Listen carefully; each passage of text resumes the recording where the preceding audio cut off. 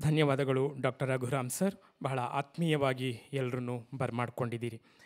ಬಂಧುಗಳೇ, ನಾನು ಮೊದಲೇ ಪ್ರಸ್ತಾಪ ಮಾಡಿದ ಹಾಗೆ, ಹಾಗೆಯೇ ಸ್ವಾಗತ ಭಾಷಣದಲ್ಲಿ ಡಾಕ್ಟರ್ ರಘುರಾಮ್ ಸರ್ ಅವರು ಪ್ರಸ್ತಾಪ ಮಾಡಿದ ಹಾಗೆ, ಈ ವರ್ಷದ ಸಮ್ಮೇಳನವನ್ನು ದೇಶಕ್ಕಾಗಿ ಹೋರಾಡಿದ ಮಹಿಳೆಯರು ಮತ್ತು ಯೋಧರ ಕುಟುಂಬದ ಮಹಿಳೆಯರಿಗೆ ಸಮರ್ಪಣೆ ಮಾಡಲಾಗ್ತಾ ಇದೆ.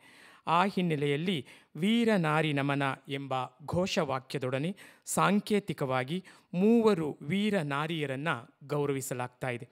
ಆ ಗೌರವದ ಕಾರ್ಯಕ್ರಮವನ್ನು ಕರ್ನಲ್ ನರಸಿಂಹ ಅವರು ನಿರ್ವಹಿಸಬೇಕಾಗಿ ನಾನು ವಿನಂತಿ ಮಾಡ್ತಾ ಇದ್ದೇನೆ.